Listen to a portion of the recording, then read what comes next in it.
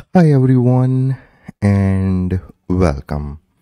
In this video we are going to cover the getting started guide for LilyGo THMI display.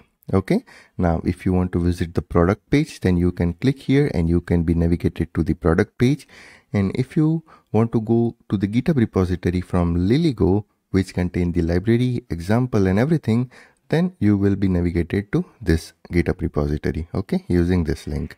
Now here you can see the product page of LilyGo THMI display. Now this LilyGo THMI display comes with ESP32S3 microcontroller. Okay, it supports the wireless connectivity Wi-Fi and Bluetooth 5. You can program this using Arduino IDE and MicroPython. Now you will get 16 MB of flash and 8 MB of PSRAM. Also you will get the reed switch. Okay, so here is the reed switch. This one is the reed switch okay so we are going to cover the getting started guide for this display in this video. And we are going to cover the TFT example as well as power on example in this video. Now you can download both of the example from their github repository. So here you can see examples and here you can see TFT example and power on example. So we are going to cover this two example in this video. And we are going to cover that how you can getting started with LilyGo THMI display. Now first what you have to do is you have to download this entire THMI repository and then you have to copy this library to Arduino library folder. Okay, so here you can see in my GitHub I have already downloaded those things. So here you can see THMI master. Okay, I have downloaded this one, the entire repository here in this folder. Now I'm going to extract it okay once you extract it you have to navigate to the library folder and you have to copy everything.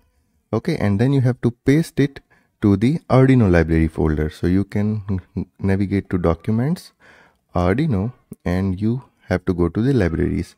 And then you have to paste those library here in this folder. Okay so we have successfully pasted here because those libraries are designed specifically for LilyGo THMI display. Okay, so that's why we have to copy the entire library content and we have to paste that library content to the Arduino library folder. Now we can open Arduino IDE. Okay, so here we can open Arduino. Here, if you get this, that updates are available for some of your libraries, then you have to click on later.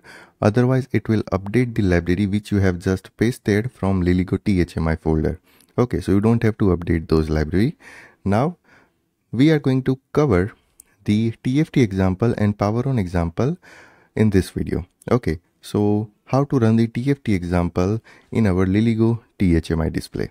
So you can uh, go to this THMI master folder and here you can see examples and here you can see TFT example. Okay so you can open this TFT INO in your Arduino IDE now here you have to follow some steps to upload this code to your LilyGo THMI display. Now if you navigate to the GitHub repository and if you scroll down then here is the setting which you have to select while uploading the code from Arduino to your THMI display. So I'm going to open these two things parallelly and here we have to select ESP32S3 development module. Okay, but before that let us connect our THMI with our system.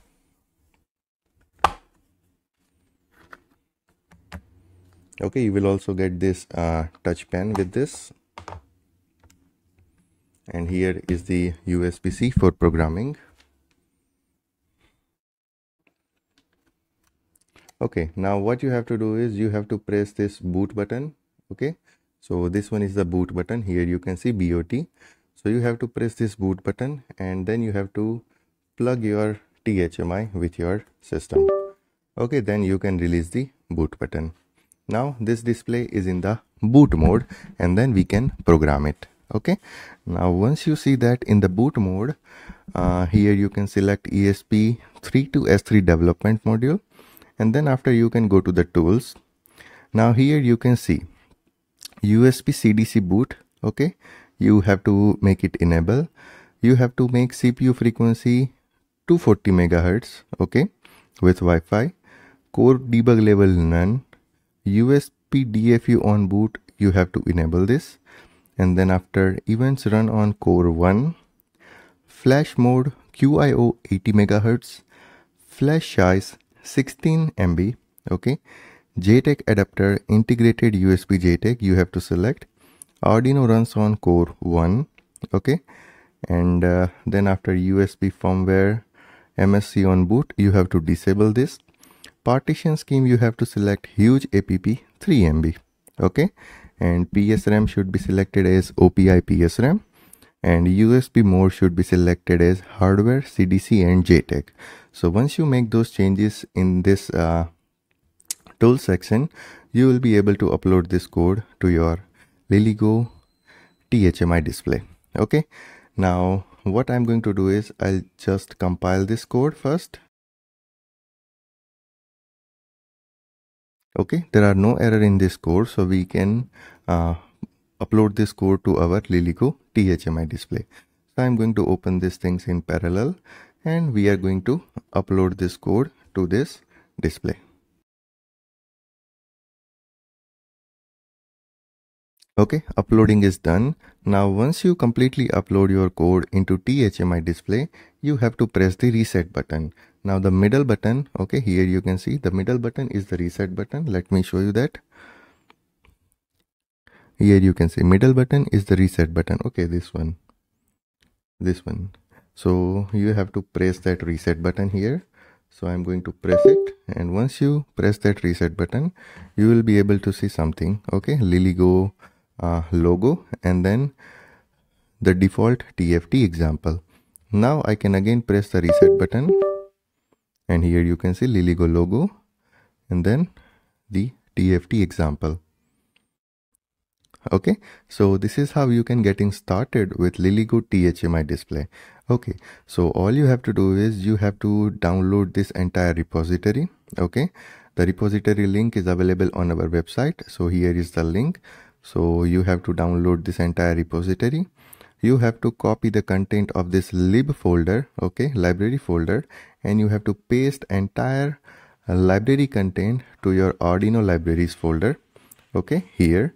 And once you do that okay you can open the examples folder. So lilygo thmi examples folder and you can open this tft example. And once you open this TFT example you have to make few changes in the tools section after selecting the board. So so here is the entire setting details that which setting you have to select in the tools menu to successfully upload the code to your THMI display. Okay? And here it is already mentioned that what you have to do with the library folder. Okay? So you have to download esp32 packages first. Okay?